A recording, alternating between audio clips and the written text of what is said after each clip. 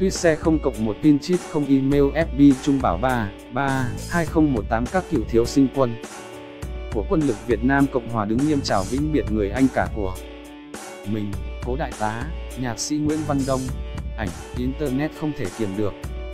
Niềm xúc động khi xem tấm ảnh một hàng cựu thiếu sinh quân của quân lực. Việt Nam Cộng Hòa đứng nghiêm chào vĩnh biệt người anh cả của mình, cố đại tá Nguyễn Văn Đông.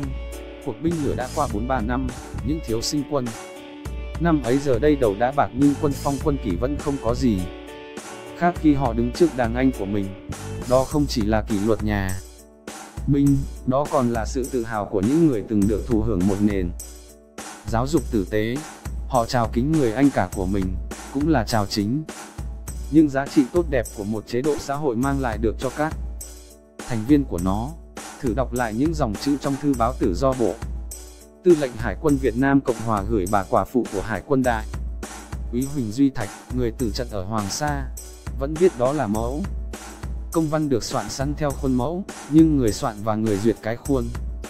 Mẫu đó xứng đáng nhận được sự kính phục của những ai theo đuổi các giá.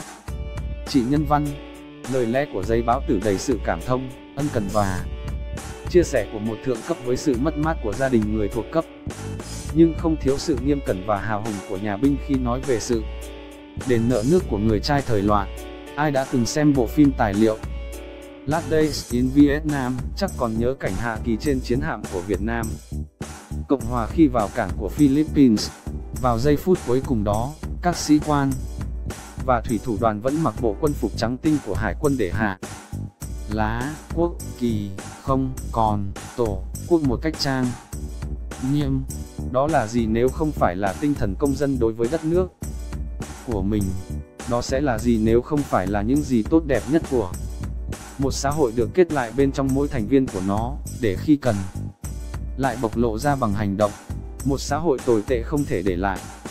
Nhưng giá trị tốt đẹp khi mà nó đã chết đi 4-3 năm, con người có thể chết nhưng những giá trị đó là vĩnh viễn, chẳng trại cải tạo nào xóa. Nổi con người Thư báo tử của Bộ Tư lệnh Hải quân Việt Nam Cộng Hòa Ảnh, Internet tuyết xe không cộng một pin chip không